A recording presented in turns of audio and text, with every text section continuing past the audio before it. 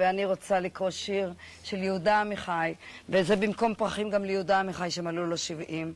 אז בכל הערב הזה אתנחתא קלה, וזה נקרא שיר זמני. והוא אומר כך, הכתב העברי והערבי הולכים ממזרח למערב, הכתב הלטיני ממערב למזרח. שפות הן כמו חתולים, אסור לבוא נגד כיוון הסערות. העננים באים מן הים, החמסין מן המדבר, העצים מתכופפים עם הרוח, והאבנים עפות מכל רוח ולכל הרוחות. זורקים אבנים, זורקים את הארץ האחד על השני, אבל הארץ תמיד נופלת בחזרה על הארץ. זורקים את הארץ, רוצים להיפטר ממנה, מאבניה ומאדמתה, אבל אי אפשר להיפטר ממנה.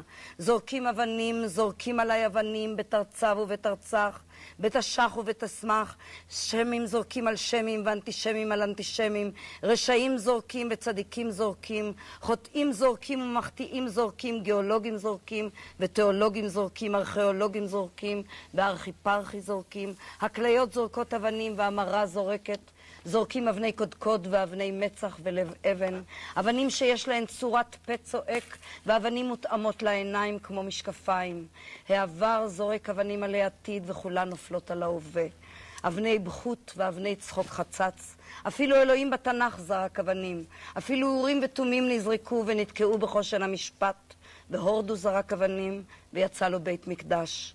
הו השיר על יגון האבנים, הו השיר הזרוק על אבנים, הו השיר על אבנים זרוקות. היש עוד בארץ אבן שלא זרקו אותה, ולא בנו בה ולא הפכו אותה, ולא גלגלו אותה ולא גילו אותה, ולא זעקה מקיר ולא מעשו בה הבונים, ולא קברו תחתיה ולא אהבו עליה, ולא הפכו אותה לראש פינה. אנא, אל תזרקו עוד אבנים. אתם מזיזים את הארץ, את הארץ הקדושה, המלאה, הפתוחה.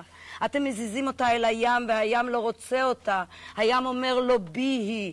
אנא זרקו אבנים קטנות, זרקו שבלולים מאובנים, זרקו חצץ.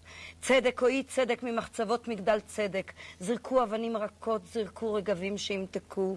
זרקו כורכר, זרקו זפזיף.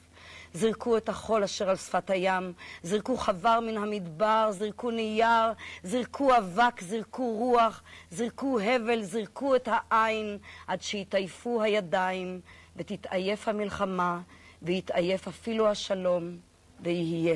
וזה יהודה עמיחי. ותודה רבה.